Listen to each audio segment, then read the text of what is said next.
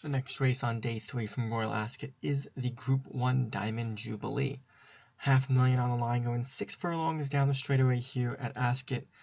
And our favorite, our two-time winner, Awesome Music for John Morgan, winner of the Duke of York Clipper Logistics Group 2 Stakes, last time out going six furlongs on good to firm ground.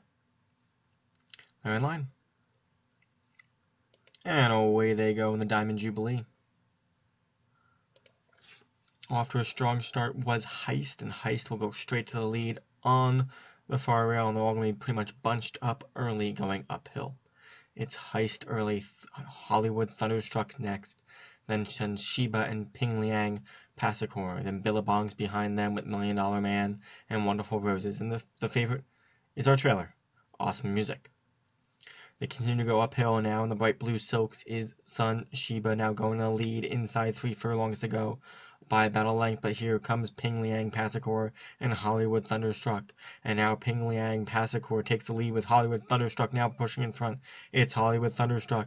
Billabong's trying to get there. Billabong's on the outside, and the inside it's still Sun Sheba and uh, Ping Liang Passacor, but it's Hollywood Thunderstruck leading inside a furlong to go. On the far outside, here comes Billabong, and now Billabong's up to the lead. It's Billabong and Sun Sheba, the two of them, one, two, with a half a furlong to go. Sun Sheba now on the far side. It's leading Sun Sheba, and Sun Sheba will hit the line as our victor of the Diamond Jubilee a strong driving finish on the rail and just got the best run over Billabong and Wonderful Roses, who is coming up fast, will finish third.